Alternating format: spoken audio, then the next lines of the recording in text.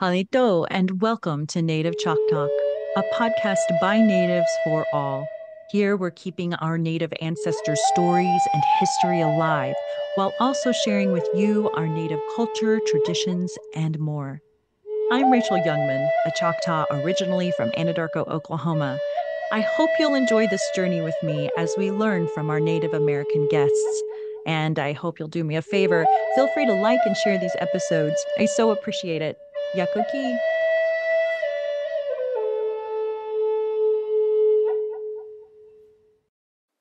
Big news, y'all. One of my favorite Choctaw authors, Sarah Elizabeth Sawyer, has a writing course called Fiction Writing American Indians. Now, this course will show you how to discover the insight you need to write quality, authentic stories. You'll also learn practical approaches to researching Native cultures and get answers to hard questions. I'll be taking the same course, and I invite you to take it with me. Just go to AmericanIndians.fictioncourses.com. But don't forget to use the code CHOCTALK, that's C H O C T A L K, when you go to checkout to get $30 off. Yes, let's do this. We're back with the final episode of this series on Dr. William Meadows' book, The First Code Talkers. Today, we'll go into detail about additional tribes we haven't covered so far. We hear so much about the Choctaw and the Navajo Code Talkers, but not much about the other tribes. What are some of the tribes we'll discuss today? Uh, some of the others that served in World War One uh, will be the Osage from Oklahoma, uh, the Comanche from Oklahoma, um, some Ho Chunk from Wisconsin, uh, the Oklahoma Cherokee, and then uh, some Siouan groups up in the Northern Plains. All right. I'm excited to learn more. Again, I, I, feel like I know so much about the Choctaw and the Navajo. There are other groups in here that definitely need to be highlighted. There's not a lot known about these tribes' contributions, but they are, of course, deserving of mentions of what you have found. So let's start with the Osage. Okay. Uh, yes, the Osage is a group that we know very, very little about. Um, there is um, uh, mention of quite a few Osage and Company M of the 103rd uh, Infantry Regiment, and that, of course, is also in the 36th uh, Infantry Division. Uh, majority are from Oklahoma, of course, and, and uh, there is overall uh, around 100 um, Osage that served in World War One. Not all in the same group necessarily, but in total, right around 100 Osage veterans in World War One. See, I wonder how many of our listeners actually know that. Now, probably people from the Osage tribe know that, but I don't think that's always been well known amongst folks like me. So, tell us about the interview with non native private Alfonso Bulls, who was a veteran in the 36th. Okay. Uh, yeah, Bull, Bulls's uh, uh, material that was recorded from him is one of the more valuable sources we have. Um, so Bulls reported um, in his statement, um, the ones in my company were mainly the Osage. Uh, they used our telephones and they talk in the Osage language. Uh, we used to wonder if the Germans could ever uh, intercept those calls. Um, so the context of this um, is that he and another veteran, non-native veteran, uh, were had had been asked to speak at some schools uh, following the war and everything. And at one point, some of their material was written down and put into a, uh, a published work and everything. So they were eyewitnesses and participants in the company. And he also describes um, uh, several of the Osage at that time uh, of being quite wealthy um, and having oil money and using, um, you know, their their oil money on kind of, you know, they had extra spending money when they were in in uh, camp and everything. Um, also, he he describes them frequently using war whoops, if you will, uh, both in uh, you know field exercises and practices, and then later in the war. And um, the uh, apprehension, they mentioned that that the German apprehension about fighting Native Americans, they were aware of it, and the uh, American admiration of their combat service. And so you know they they're reflecting after the war, of course, uh, but several positive things about the Osage veterans. And then uh, he also notes, uh, describes on one occasion uh, while they had downtime and and uh, everything. Uh, they would do war, uh, war, dances right there in the camp. I don't know if you've ever heard an Indian war whoop, but it's a cross between a scream and a yelp. Absolutely. And with that war whoop scenario, some non native soldiers didn't like the sound of it, right? Yeah, I, I think they were uh, uh, they were caught off guard, maybe a little culture shock or something. But uh, yeah, he stated that when the non-native soldiers uh, would complain to an officer, the officer uh, told them that the native soldiers were were just letting off steam. It was nothing, um, you know, serious and everything, and they should bide their time. Um, and then um, the officer told him, you know, wait till we get to France. You'll see they'll be the best ones we have. Um, yeah. And you know that pretty much turned out in everything. Um, they were described as being, you know, very effective, very great soldiers when they went into the Champagne sector. Um, and frequently, this is where the war whoops come up again. But uh, they jump out of those foxholes screaming those war whoops and yelling in the Cherokee and the Choctaw and all those languages. I think the Germans were scared to death of them. Um, I remember this one officer we captured was petrified. That would be terrifying, especially if you've never heard that before. And when you're in battle, very interesting. You note that several yeah. Osage were taken from Carlisle Indian School and inducted into the U.S. Army, and then served in artillery and infantry units where they spoke to one another on telephones um, to relate information about incoming sounds. Something I appreciated about your book is that you sought to present highly researched and vetted information, even if it meant changing the course of what many assumed to be true based on years of false information. And August Chouteau is one such story, right?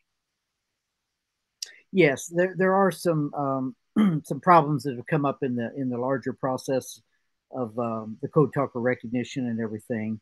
And so around 2012, um, the Osage Nation was contacted by the Department of Defense, who was in charge of the recognition, um, informed them that Augustus Chouteau was a code talker in World War One, and so the identification is problematic.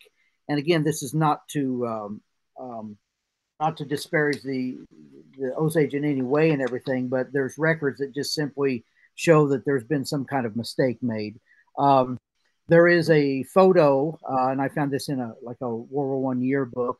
Uh, there's a photo and a summary of uh, Private Augustus Chouteau's military service, and what it shows is that he, yeah, he was in service. Uh, he went to Texas uh, during World War One, uh, but he was never sent overseas. And while at one of the camps in Texas, um, he contracted influenza, which of course was going around uh, followed by pneumonia, and uh, resulted in his death in uh, December 11th of 1919. Uh, um, so he did not go overseas, is uh, the main point. And so there's been, you know, some kind of mistake there. so he couldn't have been a, a, code talker, and, and the identification. Um, I have no knowledge basis of it was what what it was based on or anything of that nature. Um, and so uh, so far, he is the only officially uh, identified Osage uh, code talker. Um, and one, there was one uh, congressional silver uh, medal made for the family, and of course, a gold medal for the uh, uh, tribe, and presented to his granddaughter. but of course, he has a brother, and I think this is where the um, possibly we we can't say for sure, but possibly where the mistake has occurred um, his brother Charlie Chouteau did go overseas, did see action uh, in the Champagne and Meuse-Argonne campaigns, and uh, um, so he he was in the right place at the right time when this kind of service was going on.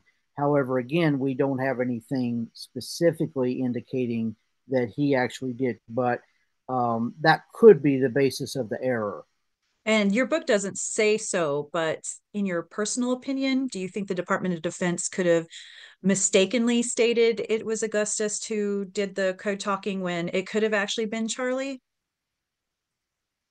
Uh, yeah, it, it's possible. Um, the uh, the biggest um, problem that I have uh, seen is that, um, and I found this out many years after the act, after it was all said and done, but um, the DoD had somebody pull files to make sure that the people that were vetted as code talkers were in service. Um, okay. But they did not go beyond that. So they didn't actually check to see if they were sent overseas, what units they were in, etc. Okay. And again, much respect to anyone who served our country. We appreciate the code talkers of the Osage Nation for their bravery and for the use of their language in code talking during World War One.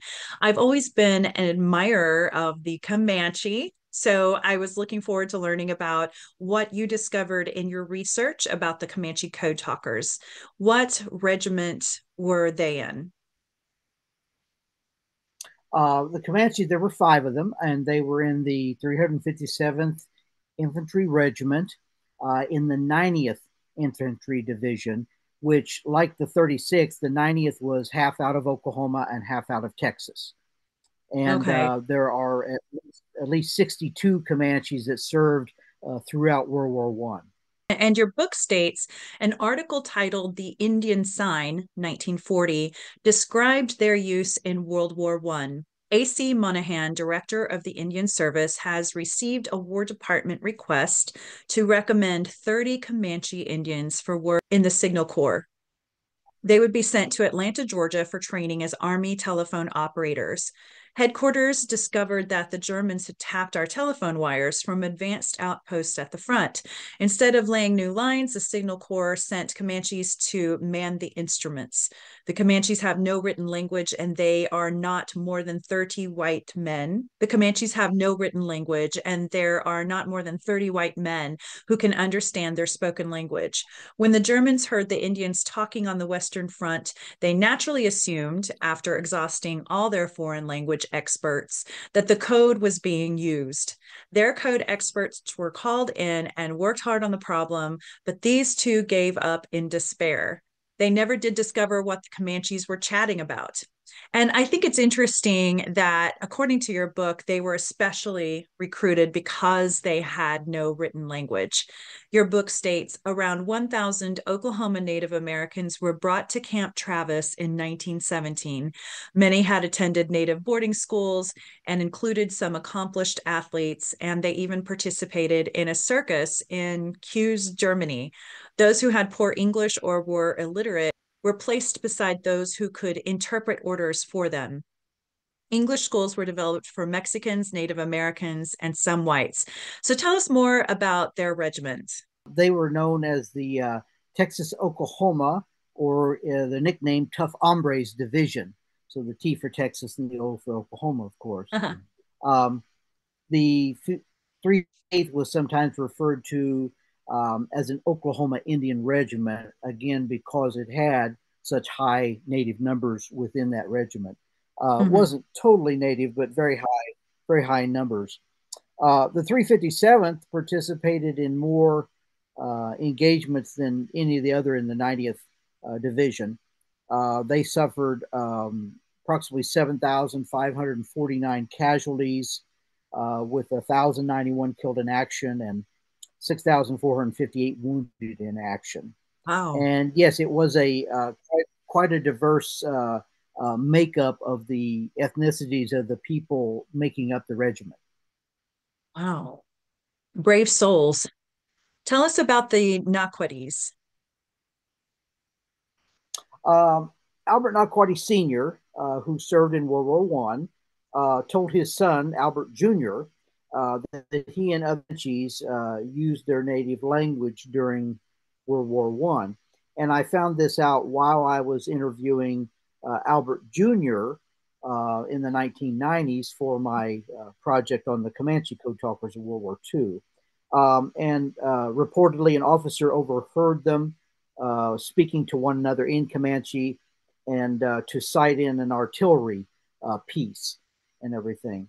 And so there's some indication that it was used uh, in that method to, to convey artillery calls. Uh, but there's also some other instances where it was used to call for relief and help uh, when a group was uh, surrounded. Uh, Albert served in the uh, St. Mihiel and Argonne forest sectors, and he himself he was wounded. He was gassed, and but survived the war and, and was discharged in May of 19. So tell us something interesting about this father and son duo. Albert Sr., of course, was in World War I. Albert Jr. was in World War II. Uh, they both served as code talkers. Uh, however, the World War World War One group did not receive formal training to develop a code, while the World War II group did uh, with the Comanches. And so Albert Jr. Um, he did train with the Comanches uh, to develop the code in World War II, uh, but he was one of three individuals who did not go over, ended up not going overseas. Another Comanche code talker to take note of was Calvin Atchavit, who was with the 90th Division. Now, Robert Atchavit was Calvin's nephew, and they were really close. What did he say about his uncle Calvin?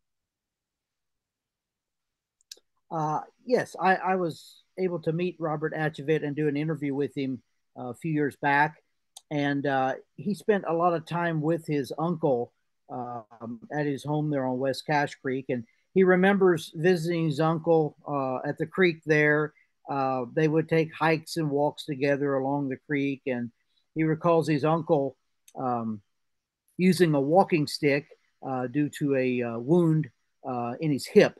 And this wound, I do not think was actually recorded. There's another one in which he is receives an award for. Um, mm. But this wound, Calvin sustained the wound while on an assignment, laying wire and cutting enemy barbed wire and communication lines in no man's land. Uh, during the time, he becomes separated from the group, got into a skirmish, uh, was wounded, and uh, but returned after a few days with a German prisoner. So he was missing in action for a bit, but then re- reappeared with the German prisoner. Uh, he also reported that an officer had the idea to use the Comanche language to send messages over landlines that the Germans were tapping uh, after overhearing the men talking uh, to one another. So we have a father son duo, and then we have an uncle and nephew duo who are clearly crushing it.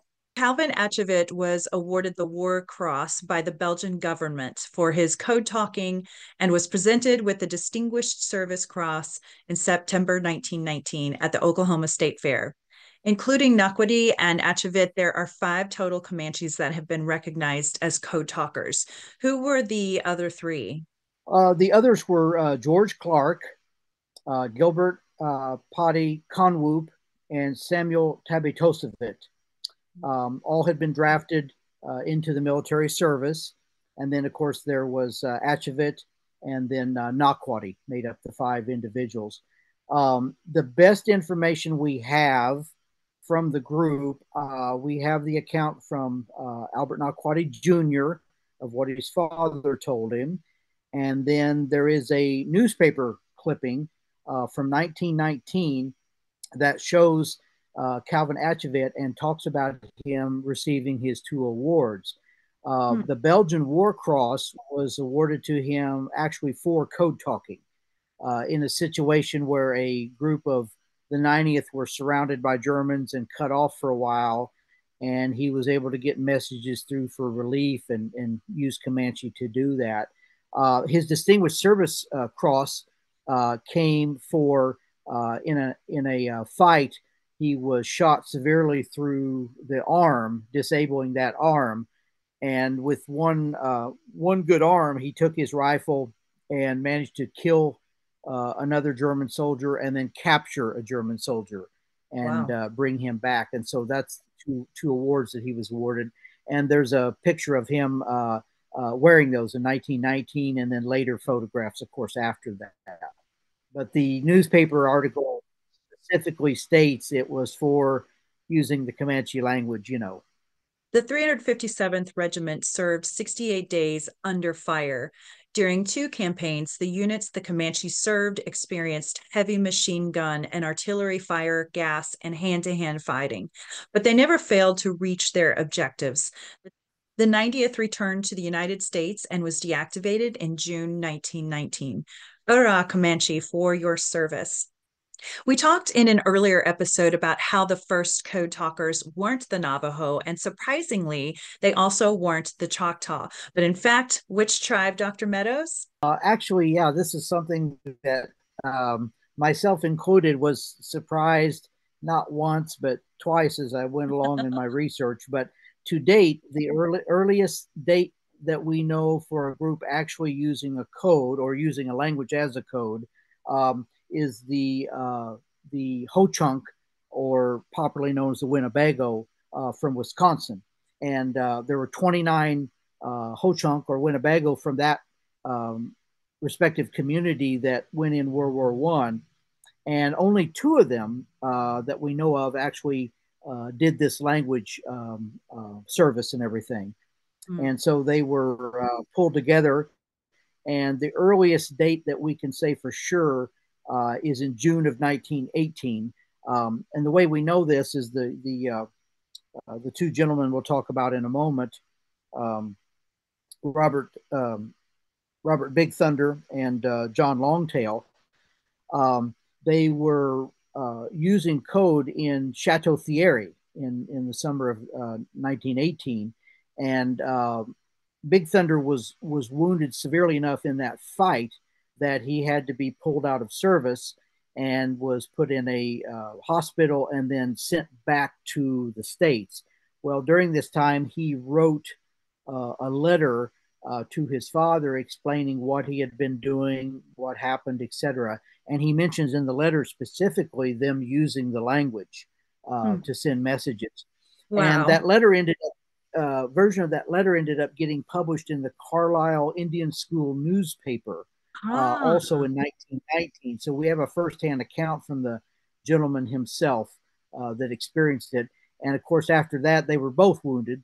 Um, but after that, um, but so we can't say how early they started it, but we know it's no later than that specific day that he was wounded in, in June of 18. So to hmm. date, uh, uh, we only we only have uh, fixed dates for three of the seven groups in World War One, but at present, the Ho Chunk are now uh, the first one to use it. But again, in, in my just in my opinion, it's not really a matter of who's first. It's a matter of of getting them recognition, all of them. You know, absolutely. And my hat's off to you, Ho Chunk people. Speaking of, the Ho Chunk are a Siouan speaking tribe entailing two tribes that are federally recognized the Winnebago tribe of Nebraska and the Ho Chunk Nation of Wisconsin. They originally hailed from the areas of Minnesota, Illinois, Wisconsin, and Iowa. Your book says, like so many Indians in the war, these men were used for scouts, snipers, and telephone operators. And during their seven weeks in the frontline trenches, had many interesting and exciting experiences. So, who were the two Ho Chunk you mentioned in your book that served as code talkers in World War One? Um, first would be Private John H. Longtail, uh, who uh, was from Winnebago, Nebraska and then Private First Class Robert Big Thunder, uh, who came from Wittenberg, uh, Wisconsin. And um, there's a there's a couple sources that say that they were cousins and things, oh. but um, Robert Big Thunder's daughter told me they were actually brothers-in-law. Uh, so John Longtail okay. married uh, Robert Big Thunder's sister, so they were brothers-in-law and went into service together. In your book, you share about the letter Big Thunder wrote to his father in late June of 1918, which appeared in the Southern Workman. I was wounded last Friday, June 21st, at five o'clock in the morning. We made a rapid rain. We made a rapid raid on the Germans early that morning at three o'clock and chased them off a big hill. Our raid was very successful. A piece of bursting shrapnel hit me below my left eye, cutting my skin and went through my nose. I shall be well again, but am afraid my left eye will be very weak. After being wounded, I ran all the way from the front to the first aid dressing station under heavy artillery fire, but was lucky and was not hit by anything. Thank God I was not killed. I wish I was home working on the farm, but this is our duty and we must fight it to a finish. Then we can come home. Some Germans were up in the trees, shooting down on us, and hand grenades coming over and bursting close to us hit some of our boys, hurting them bad. I was with one boy who could shoot well, and he shot down one of the Germans in the tree. One machine gun was only about eight yards from us, but they couldn't see us. I was behind four little trees together and shooting. We chased them quite a ways, and then I was wounded. Fascinating. So, what else do you know about Longtail and Big Thunder? Were wounded at Chateau Thierry, um, and Longtail was awarded a Purple Heart. Um, both went over the top three times uh, which are these large rushes where you know you leave your trenches, go up over, and, and try to take the position in front of you. Uh, they also withstood three attacks uh, from the enemy. Um, they were mentioned as being able, as scouts, to go out and get information, return safely, um, where many uh, other non-Indians would fail. And of course, they uh, excelled in transmitting uh, telephone messages in their own language. And I wish we had more information. We we do have their Indian service cards uh, from the National Archives, which also uh, mention um, that they used the native the the native Indian code or language uh, for sending messages. So we actually have three independent mm. verifying sources from the period. You know. Something that surprised me, though, was that several World War II Ho Chunk veterans were included in the Code Talker Recognition Act of 2008, but Longtail and Big Thunder were not. They they simply that information hadn't come to light uh, yet, and they were unknown at that time. And uh, okay, uh, I'm trying I'm trying to remember where I, I came across. I may have just been I may have just been looking through the uh, um, the Carlisle Indian School newspaper when I hit that article. Uh, but yes, they, they do qualify for recognition under the Act. Um, the Act is an open Act. In other words, it has no closing door or window. So as mm. long as information can be um, brought forward and examined, they are eligible to apply. Um, and I'm trying to get um, I'm trying to get people interested in seeking that recognition now. oh, that's um, great. Trying to yeah, trying to make new contacts up with the DoD to move this forward. sounds like they definitely deserve it. So I hope they'll receive the recognition that they deserved. I'm sorry to say to our Oklahoma Cherokee friends that there's not a lot of records on the Cherokee Code Talkers of World War One. However, what can you tell us about them? Uh, you're you're right. There is very little data, but we do have some from the period. And so uh, there were Oklahoma Cherokees. Um, now this is distinct from the Eastern Band of Cherokees, who also do some some code talking in World War One. Um, and the Eastern Band were in the 30th uh, division, whereas the Oklahoma Cherokees were in the 36th. Mm-hmm. And uh, there is uh, this is the same same company, Company E, uh, that the uh, eight Choctaw code talkers come from, and everything. Uh, they were used in the Meuse Argonne and at Forest Ferme. And the two sources that we um, have that are most uh, reliable is um, they are mentioned, both the Choctaw and the Cherokee are mentioned in one report about Forest Ferme uh, from the period in the 36 records. And then we also have a photograph of George Adair um, in Emmett Starr's, uh, who was Cherokee historian, uh, in Emmett Starr's book, that came out in 1926, and underneath his service picture, um, it mentions that he um, used his language, and he was actually a cook and was pulled off the line and used for his uh, language. So, bravo to George Adair as well. Wado to the brave Oklahoma Cherokee who served in World War One. You mentioned the Siouan groups in your book. The Germans were wiretapping, and as they did, Two unspecified Sioux men were assigned as telephone operators. There was a private named Paul Picotte, a Yankton Sioux, who asserted that Indian telephone operators won the war single handedly he stated, You'll never see it in the histories. That World War was ended by the Indian boys who were in the service because eventually they were put up to the front and they talked Indian and then later was transferred to Indians in the commanding officers' quarters. And the World War came to an end. So that's a big statement. And I like his take on the situation. We've mentioned along the way that there's been some misinformation about the code talkers, and over time, with extensive research like yours, more data has come to light to correct some of these inconsistencies. And again, that's not to dismiss the sacrifice of those in the service. However, not all those who were deemed as code talkers were actually code talkers. Here's another such story involving the Standing Rock Lakota. Tell us about that. We'll be back after this quick break. Are you in the medical field looking for your next opportunity? Listeners, I'm proud to introduce you to Native American veteran owned staffing company Worldwide Medical Staffing.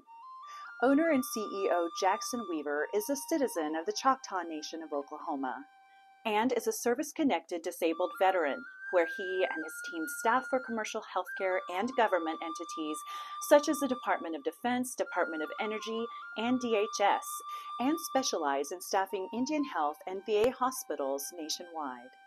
Isn't it nice to know that our veterans are being cared for by staff who have been handpicked by a veteran who's been in the staffing business for 17 years?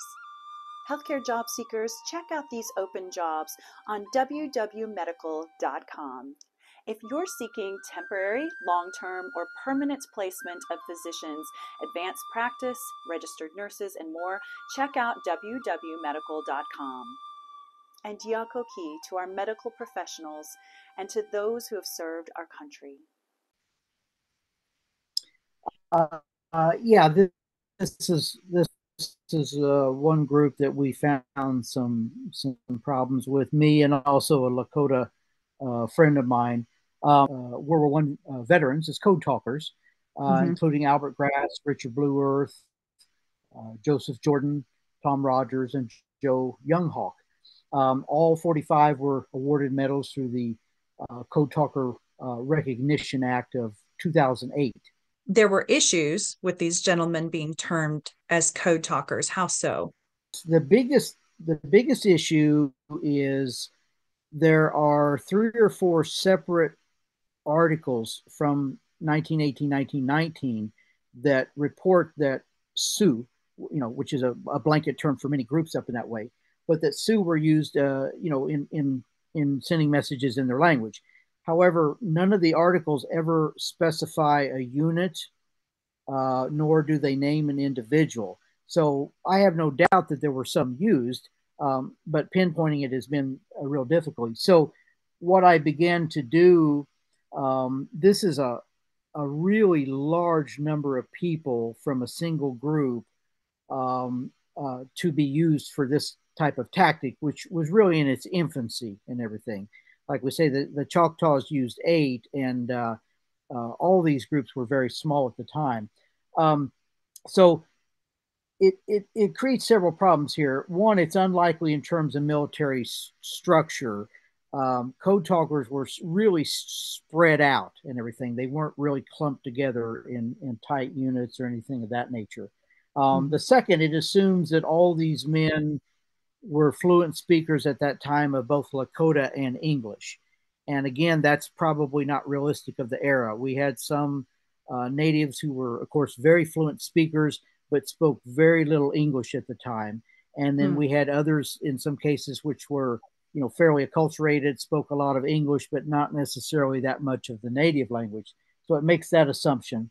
Um, and you know, we know that there were there were natives that relied on others to translate for them. We know that there are some natives which were dismissed from service uh, from a lack of English and everything. Um, mm-hmm. So it's a very, very large number uh, for this and everything. Uh, but what I began to do then is uh, is eventually um, uh, check their check their records to compare this because normally you would have a code talker say at each company, so you you wouldn't necessarily uh, need that many um, and again, the records that were turned in, they don't tie these men to any specific unit or assignment or anything. So it it's very very complicated. In the book, you state that as an example, the Choctaw used, say, eight men. And even in World War II, the Navajo often used only six to eight men per regiment. So it sounds like the 45 code talkers that they mentioned were involved would have comparatively been a tremendous amount. How do you think they came up with 45? I asked a gentleman who who was involved in this process, And I asked him, how did he come up with this number? And he said, well, I, I went to all the uh, cemeteries in the reservation. I wrote down all the headstones of, of uh, Lakotas who served in World War One, and I vetted them and turned them in. And I said, well, what, what information did you have uh, that they actually were code talkers? And, and he didn't. Um, he just assumed if they were in World War One, they were fluent speakers and they were used as code talkers. Well, gotcha. that's a big leap of faith, of course, because yeah. Um, there were natives, like non-natives, that served in every role in the in the service at the time. You know, um, right. Um, so I began to pull pull their actual records and check them. Um, and so I, I, found close to very close to 20. So it's not, you know, close to half, but not quite half of uh, the men from Standing Rock um, who were reported as code talkers and, and recognized as such, um, but were never in the right locations to serve as code talkers.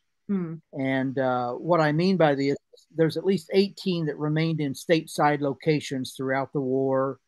Uh, they were hospitalized, some of them. Some were discharged for medical issues prior to going overseas. Uh, there's some that that stated in their exit interviews they saw no combat while overseas or, or were not in the front lines, etc. Um, there's an individual that was discharged two weeks into basic training for flat feet. Um, there's an individual that didn't even join the military until 1920, which is well oh. After World War One. Uh, but these are all in here. So there was one individual, for example, that um, uh, did not even join the armed forces until 1920. So that oh wow, they're not a World War One veteran, and, and, there's no way they could have been um, served this. Um, there's some others again. Um, John Red Bean, Joseph Two Bears, Lewis Bighorn Elk, uh, Frank Young Bear. Uh, they arrived overseas very, very late in the war. Um, so I'm not saying they couldn't be, but it really needs to be checked uh, because they may have got there so late that they didn't actually see, you know, see action. But again, um, we have the records um, for the North Dakota uh, segment of Standing Rock, and uh, but the South um, South Dakota sector of Standing Rock, all those gentlemen have not uh, been pulled together yet. Uh, so, like I say, just just checking the pool I had, I found at least 18 out of 45 that did not um, uh, did not match up and everything. Um, Albert Grass and Richard Blue Earth are two individuals that are uh, claimed to have done code talking. Um, they both were were killed in action in 1918, and then uh, uh, there's another individual, Harry Lean Elk, died of pneumonia in June of 1918 and may not have seen combat. A lot of the American troops were really getting into the very last of the war, you know. Right. And again, those would that's going to take some serious records to check those. It's not it's no no discredit to these men. They all did their service and what they were ordered and assigned to do. It's nothing about these men at all. Uh, but I think it's it's a uh, uh, there's errors in the in the vetting process and the um, records checking that led to this uh, situation. Another thing that, that sticks out is that in the Wanamaker surveys, uh, there are quite a few Lakotas who are who are visited with, and not one of them make any mention of uh, using the language or anything of that nature. Uh, hmm. So, like I say, I have no doubt that some of them did, but I just don't think it's as big a number as as uh, has been uh, told. And the Wanamaker survey was clearly aware of code talking because they uh, interviewed some of the Choctaws and the uh, officers in the 36 specifically about that very topic at the same time. Um, mm-hmm. So, like I said, there's a lot of lot of um, of uh, errors there, but the records were not really checked. Yeah. Well, and it's it's such a sensitive topic and their time in the service is still honorable. They honored our country, they honored our families. So let's talk about the First Nation peoples, the Canadian Armed Forces. They also tried the idea of code talkers as well, correct? What we only have a couple mentions I've ever run across, but it was said that it was uh, it was examined, but it, it was not really uh, pursued by them uh, although it will be in World War two later, but there's very little very little mention or data on uh, uh, the use of uh, Canadian languages that that I've been able to uncover so far. Okay. And then you've also looked into the Cheyenne as code talkers, correct? There are a source or two that do mention that Cheyenne were used. And this, again, is a really uh, difficult uh, piece of research so far uh, for everybody, you know, not, not just myself. Um, mm-hmm. But there is, there is a possibility. Um, there were Northern Cheyenne from Montana who served in the 40th Division in World War One. So there is that possibility there that there might have been some use for that. But again, we don't have anything specifying, you know, which Cheyenne or, or where, you know, they were used or anything of that nature. Um, there was, for example, with the Choctaw Code Talkers, there was a lieutenant in um, the 142nd named Temple Black, and who was a Southern Cheyenne, and uh, he he was the individual that was put in charge of organizing the training after Forest Ferme of getting 18 men and three non-commissioned officers and doing a week of training. However, it didn't involve the use of the Cheyenne language, and and he was just an officer, you know. So I don't know if there's uh, possibly confusion with that.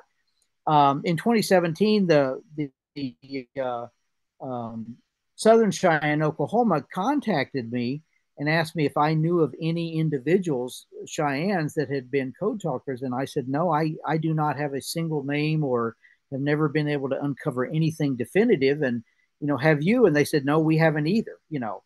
Um, hmm.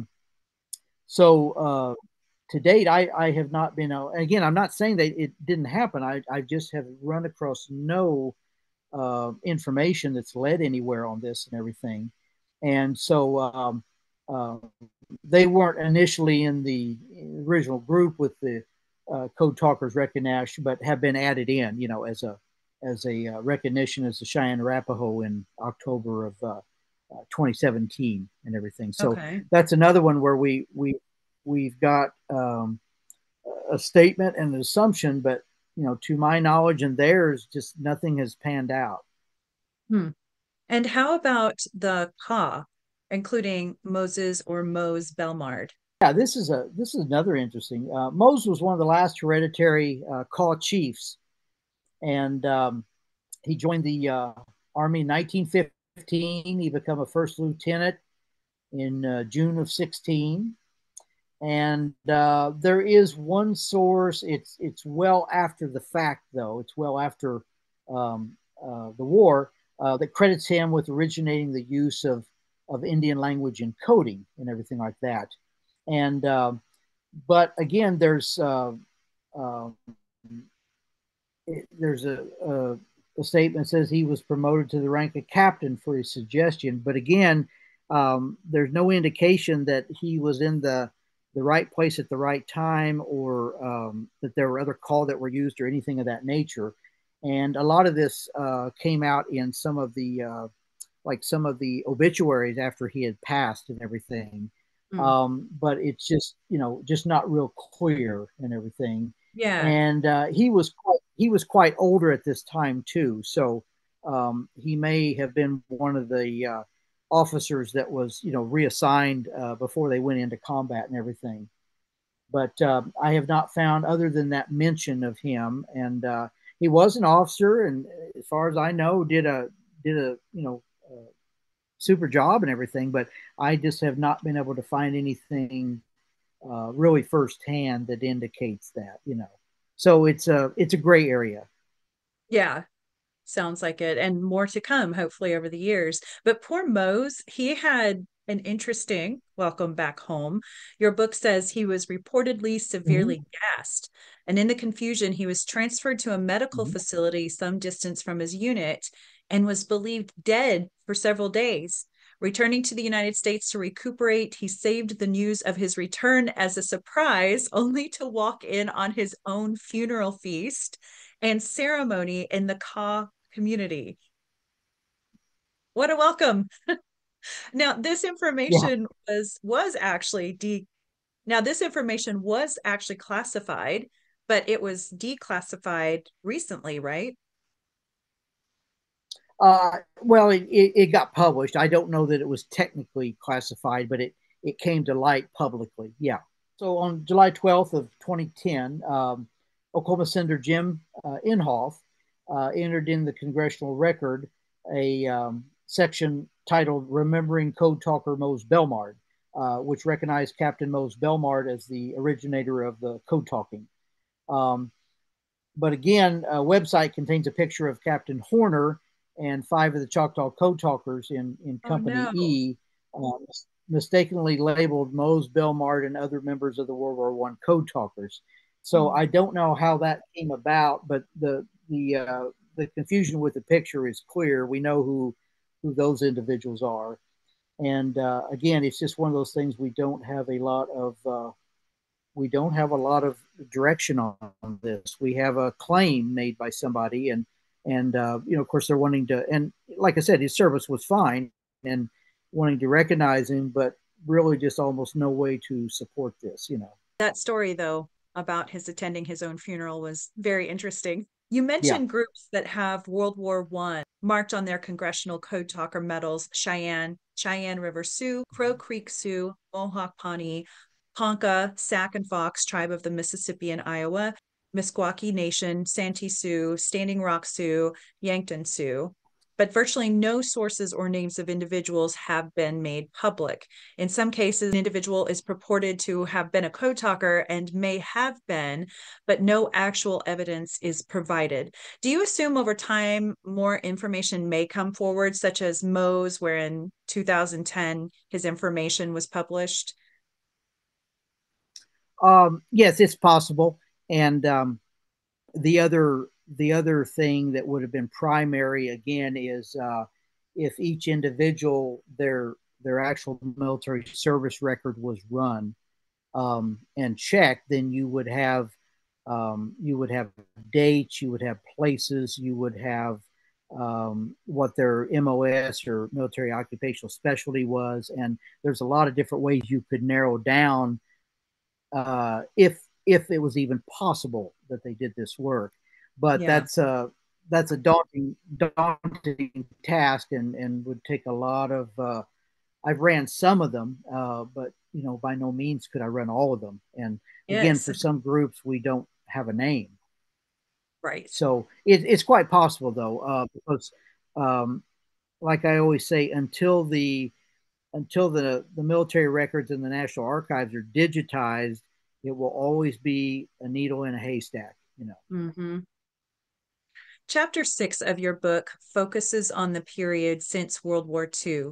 Over the years, there has been a renewed interest in their service and ensuring they are honored as well.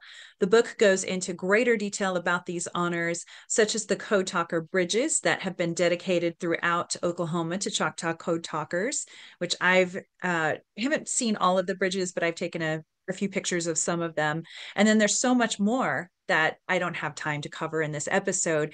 But Dr. Meadows, you were highly instrumental in ensuring code talkers or their descendants of code talkers would be honored at the gold and silver congressional medal ceremonies in Washington, D.C. in 2013.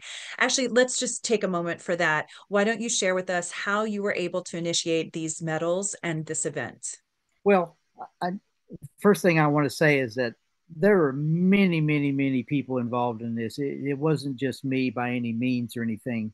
Um, I think my my role was uh, I was kind of called in as the the one academic that deals with this kind of subject and uh, had access to several code talkers already and could could provide some records and things on certain groups, not all of them, of course. Sure. Um, but yeah, there were many, many tribes and many people involved. So the way that I really got um, involved with this was um, in 2002, my Comanche Code Talkers of World War II book came out, and uh, uh, there's a lot of interest in it, a lot of grassroots interest. You know, people in, you know interested in if if their tribes had code talkers or things, and then um, I think it was in the spring of 2004. Yeah, I had just, uh, I don't even think I'd been here a whole year at Missouri State.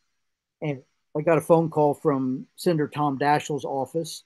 and uh, asking me. Uh, they wanted to have a Senate uh, committee hearing on the uh, contributions of Native American code talkers in the U.S. Armed Forces. I believe was the title.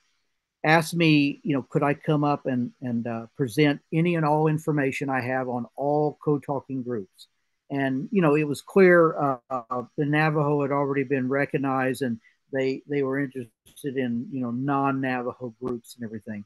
Uh, so I said sure. So I went up there, and uh, I'll never forget that day. It was the same day the National Museum of the American Indian opened. Oh, so wow. Um, the uh, Senate, Senate meeting was in the morning, and right after that, everybody walked down the uh, hill for the opening of the of the museum and everything. Um, but uh, basically, I was there. Um, uh, Chief Pyle was on my left from the Choctaw Nation. Uh, Melvin Kerchee Jr. was on my right from the Comanche Nation. And then there were other members that were Ho Chunk and Lakota. And um, there were some Choctaws there and, and other uh, people. Um, but basically, I was given 15 minutes to make my statement and, uh, and then we also had a written statement that we submitted, and then any records or things like that we submitted in paper as well. And um, I remember, um, you know, part of it, I remember I had my eyes closed as I was speaking. I was just concentrating, but it was, it was for me, it was the calmest, um, calmest thing I've ever done. I think I've been nervous in situations where I had 10 people, but for some reason that day, uh, it just, it was just smooth as silk, you know.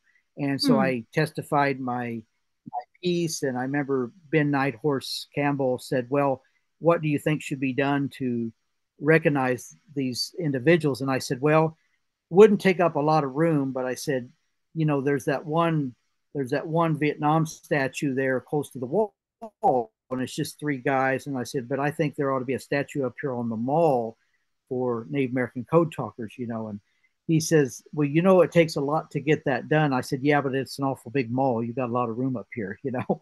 And he chuckled, you know. But uh, that, that, was my that was my two cents, you know. Um, but it um, after that day, the phone never quit ringing, even to this day. Uh, sometimes weekly, sometimes monthly, I get inquiries from different tribes, families, uh, uh, students, everything from like history day projects to college people on thesis and dissertations, um, tribes, like I said, museums, the military, different branches of the military, um, scholars and people from Europe, like you know, uh, France, Germany, Poland, um, England, Australia. Uh, those are the main countries and everything. But um, it's just always had a lot of interest. So my testimony, I was kind of like the academic, you know, person, and then we had people from the tribes that actually had the code talkers, and that together was overwhelming evidence in their opinion. And so legislation got started. And mm. of course, it took four years to, to get it through. And wow. there was lobbying. Uh, yeah, there was lobbying and things of that nature. And I remember once in a while I would get, I, I would get uh, like ask again, what do you have on this group or what do you, and so I would respond, you know, whatever I had at the time. And, um, and, you know, I hadn't worked on all the groups that I have now then, you know, I'd worked on mm-hmm. a few. Um, so some of the things that I know now came, you know, after that, of course. Um, but that was basically mine. But but again, I want to make it clear that I, I was just you know I was just one I was one piece of lettuce in the salad. So you know, pretty big and, piece. But it was lettuce, a big salad. So everyone always, anytime I've had questions about code yeah. people always push me back to you. So I'm amazed at what you and others were able to accomplish. And it must have taken a lot of time and commitment and effort. So bravo.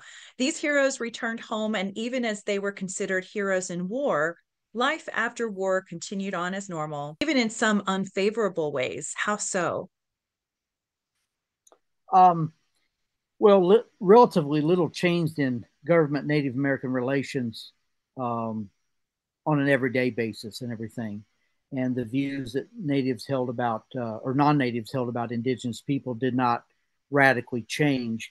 Wow. Um, yes, there was there was a lot, lot of, of uh, positive press about the excellent service of native soldiers and, and some of their uh, heroism and things of that nature. Um, but you know, as soon as they went back home, they were still going back to largely, you know, fairly impoverished communities and and um, a hard scrabble on a daily basis, uh, you know, for life. And that's really not going. A lot of that's really not going to change that much until World War II. You know, um, some were no longer physically able to perform uh, strenuous labor that they had before the war. So that then created a situation where if they're not able to work, then again their future is a little precarious, you know. And um, so we do have some struggling with uh, finding a way to uh, a means to survive, you know, um, mm-hmm. and relying on relatives and things of that nature. Um, some were forced to sell their land allotments and seek work um, in the Indian service uh, or in other trades and industry. Um, a lot of them went home and just simply were farm, you know, farmers or farm hands. Um, several worked in log, uh, log mills, sawmills, and things of that nature. Um, there's there's some that did quite well, like Otis Leader. Um, Otis, of course, had some education. Um, he got on with the highway department in in Oklahoma, and had had a very solid career and everything of that nature, you know. But uh, for the average person, you know, it was still going to be uh, fairly tough after World War One, you know. And wow. um, um, some, you know, some were wounded and disabled. Um, there was a lot of re- reduction of federal funds in the 20s, uh, things like that that helping uh, that that uh, did not help, you know, that hurt them and everything.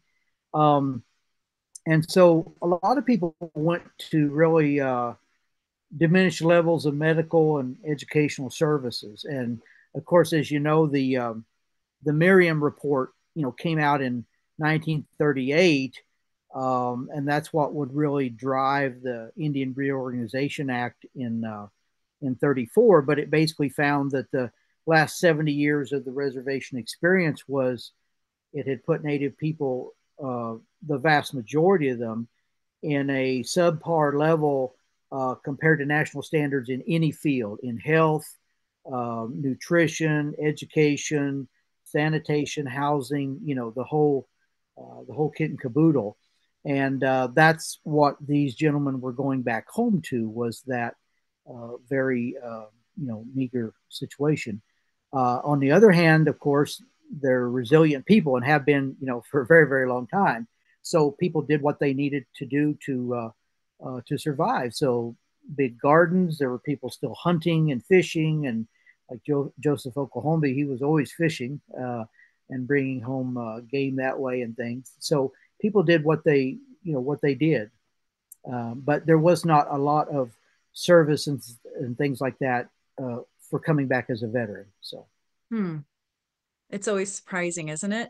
But on the other hand, you state in your book that military service prompted the revival of numerous songs, dances, men's warrior society rituals, naming ceremonies, and gift giving, giveaway ceremonies to honor individuals. It sounds like even with all the research you've done and all you've accomplished, you're still not slowing down. What else are you working on?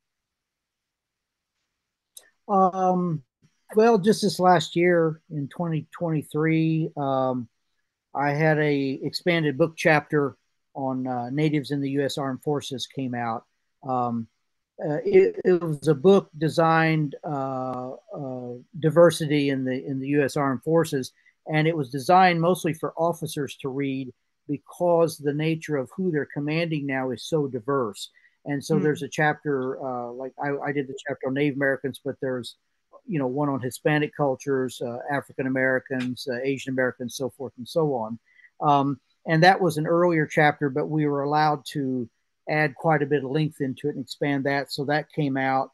Um, also, last year I had a paper on a uh, um, uh, relates to the Comanche Indian Veterans Association and the revival of a traditional status, their Pukutsi uh, status, which was their contrary warriors back in the pre-reservation days and so they they wanted to revive that, and they thought, well, what would be the equivalent? That that will never be the same today. The Army will not let you go out in front of the line and shoot an arrow through your sash, and you know, and and uh, right. fight in place. Uh, but what's the equivalent of that in heroism? And so they decided it would be the people who were awarded for like something with valor.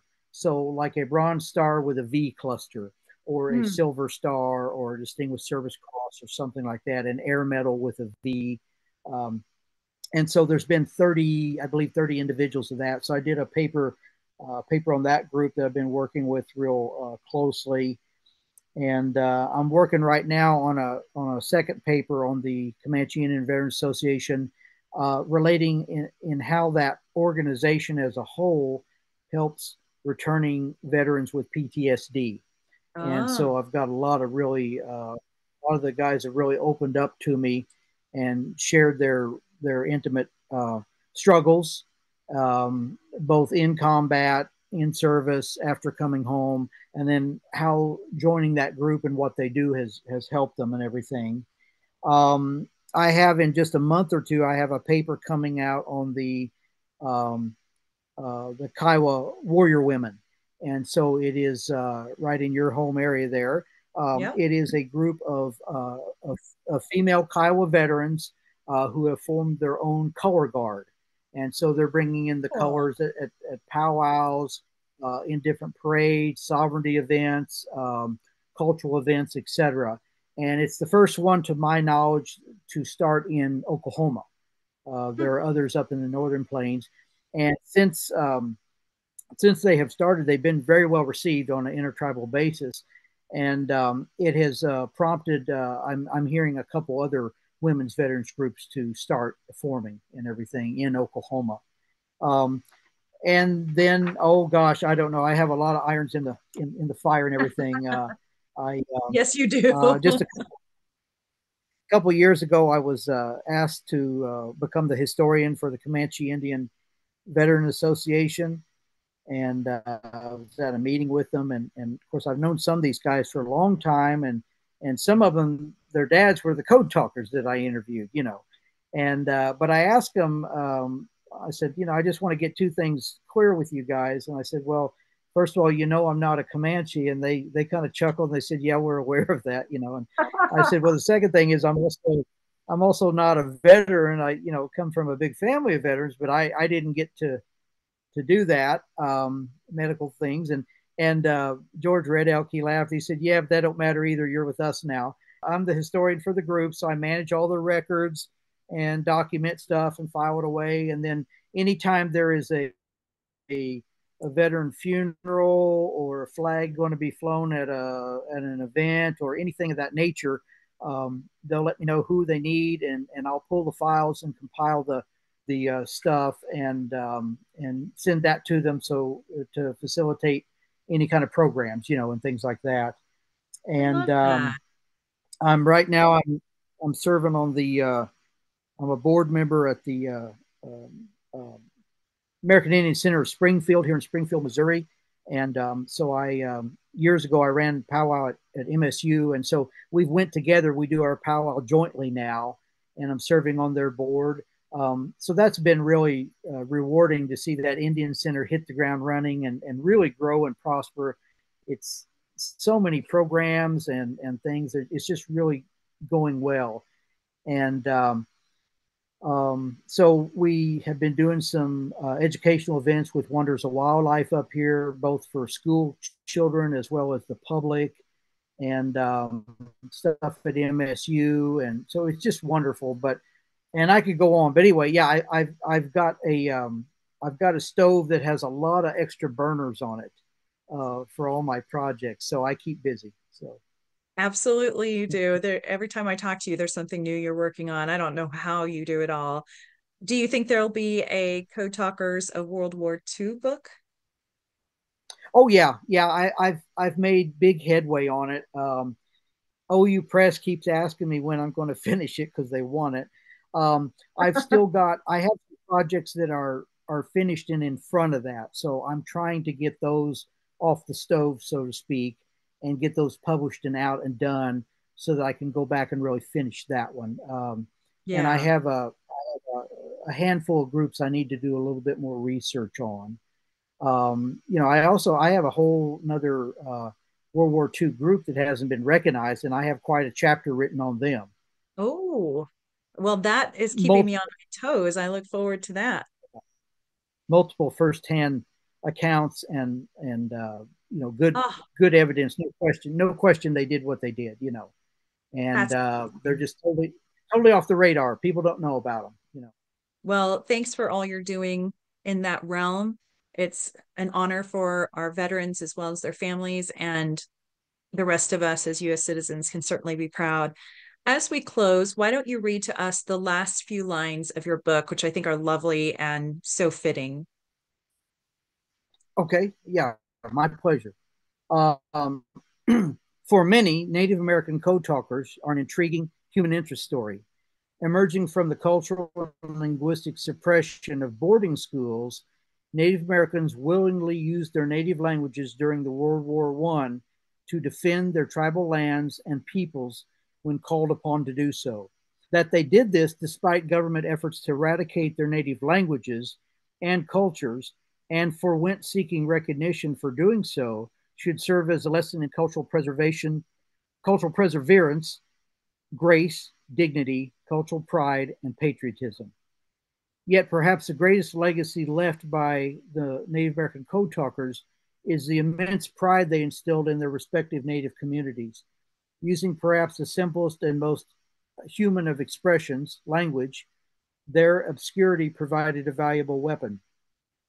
More than a century after their unique service in the Great War, Native American code talkers have become iconic figures and an important part of many intersecting cultures and histories. We owe them a profound debt of gratitude. Amen to that. Indeed, we do. Listeners, I highly recommend you get a copy of The First Code Talkers by Dr. William Meadows on Amazon and many other places you buy books. I bought mine at the FAM bookstore in Oklahoma City. There's so much more in the book that I wasn't able to cover, so check it out. And of course, it makes a great gift. Dr. Meadows, before we go, are there any words of wisdom you'd like to share with our listeners? Sit down with your people turn the phone off and sit down with your people and talk and record things and get them down. It doesn't matter what culture you come from. Um, that stuff's precious and it's all limited, you know. And um, the other thing I would say is, you know, don't don't be afraid to meet new groups, new areas. Uh, you know, my thanks, you know, Yakoke to the Choctaw Nation and and everybody else that I've worked with and everything. But um, I always tell students if you if you're willing to put the time in, you're sincere, you're upfront, people are willing to teach you. That's that's really what it just takes is is uh, uh, patience and um, uh, straightforwardness and and people are happy to teach you about their cultures and, and learn about them. So don't be afraid to, to talk to people and ask questions and explore, you know. I love that so much. Very well said. Our brave servicemen and women deserve our respect and our praise. Our code talkers spoke the language of their forefathers, the language they were told to never speak again, and used it to defend our freedom. They truly were the warriors of which their ancestors would be proud. Dr. Meadows, thank you again for your time and for researching our great code talkers, Yakoke. Uh, thank you. It's my my privilege, and I thank all of you. Thanks for listening to Native ChocTalk. Be sure to join our community on YouTube, Facebook, Instagram, and Twitter, and check us out at nativechoctalk.com. Stay tuned for the next episode. You're going to love it. Yakoke. Thank you, my friends.